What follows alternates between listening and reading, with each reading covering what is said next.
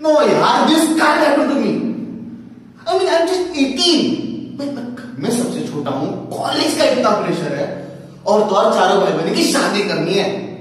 And now this मुश्किल तो है पर ऑप्शन भी तो नहीं है।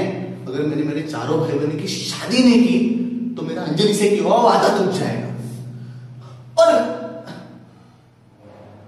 अब आप सोचते होंगे मैं किस अंजलि की बात कर रहा हूँ। शाहरुख वाले अंजलि की नहीं मेरी वाली की माई स्वीट हार्ट वैसे भी मैं फोर मंथ बैक जब जब मेरी लाइफ में एक नया पागलपन शुरू हुआ म्यूज़िक का। मैं, गाने कंपोज करने लगा था। सोचा मैं भी किसी दिन स्टार वार बन जाऊँगा यार like new Justin Bieber anyway मेरे डार्लिंग मॉम ने तभी मुझे एक प्यारा सा फ़ोन गिफ्ट किया। वैसे तो मेरे लाइफ में म्यूज़िक के अलावा कुछ था नहीं पर उस नए फ़ोन पे मुझे अनरोज कॉल आने शुरू हुए।